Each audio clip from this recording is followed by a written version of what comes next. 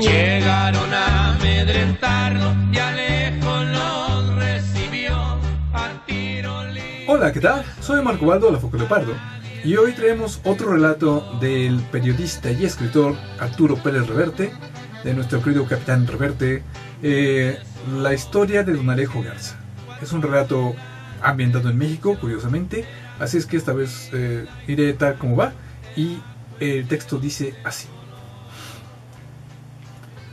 Se llamaba Alejo Garza Tames y tenía 77 años de edad y un rancho en Tamaulipas, México.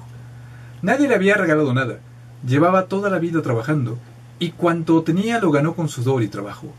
Aficionado a la casa y la charla con los amigos, era respetado por sus vecinos, de esos hombres cuyo apretón de manos y palabra valen más que un contrato firmado. Su desgracia fue que en los últimos tiempos, Tamaulipas, como buena parte de México, se ha convertido en territorio comanche, narcos hasta en la sopa. Y hace dos meses, el sábado 13 de noviembre, con precisión de corrido de los Tigres del Norte, los sicarios del cártel de allí fueron a decirle muy gallitos que ahuecara, que su propiedad les interesaba y que debía arreglarse con ellos. Veinticuatro horas para pensarlo, dijeron. Luego aténgase las consecuencias, que tal como andan las cosas en esa tierra, se resumían en una. Velatorio con cuatro cirios encendidos en las esquinas y ataúd en medio, el suyo. Don Alejo se lo pensó, en efecto.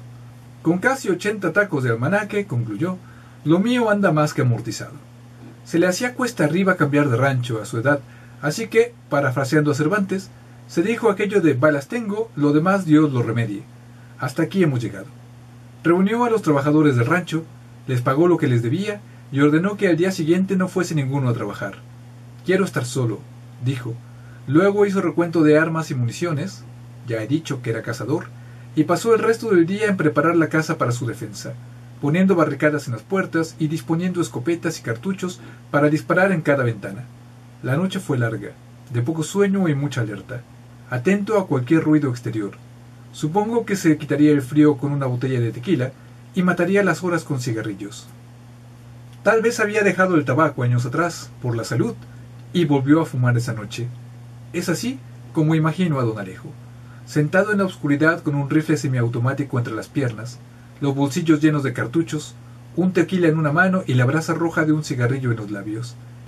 Entornados los ojos para escudriñar la noche, atento a los sonidos del exterior, recordando a ratos su vida, esperando. A las cuatro de la madrugada sonaron motores.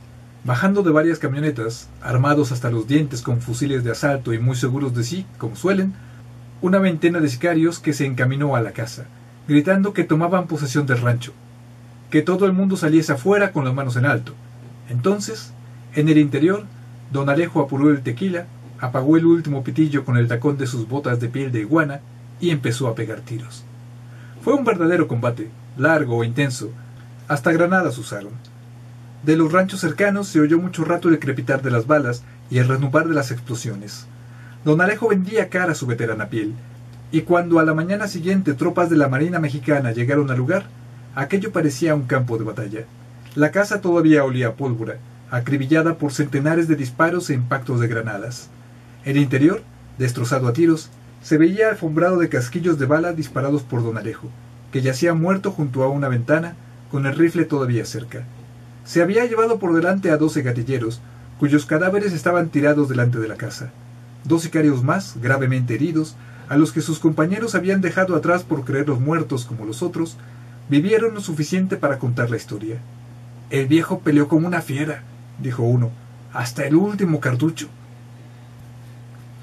Y colorín colorado, esta es la vida y la muerte, real como la vida y como México mismo, de don Alejo Garza Tames. Si el ejemplo es edificante o no, allá cada cual con lo que entienda. Yo me limito a contar la historia de un abuelete de Tamaulipas a quienes los poderosos, los narcos en su caso, dijeron que se encara de rodillas y no quiso. Le daba pereza. Y fin, esta es la historia de don Alejo Garza. a mí me conmueve muchísimo porque quiero pensar que en un momento dado yo sería capaz de hacer lo mismo. Eh, incluso un poco mejor tal vez. Depende cuándo sea, si es cuando sea igual de viejo que don Alejo. Eso rimó, pues no me quejo. pero si es hoy, hoy día creo que tendría los arrestos para seguir el ejemplo. Bueno, ustedes piensan qué harían en este caso. Disfruten a Reverte, denle like si les gustó. Si no les gustó, denle dislike, que se puede en YouTube. Eh, compártanlo, suscríbanse, coméntenlo. Y bueno, abrazos para ellos, besos para ellas. Nos vemos en la siguiente. Hasta la vista. Entornado los ojos para escudriñar la noche. Escudriñar la noche. Corte.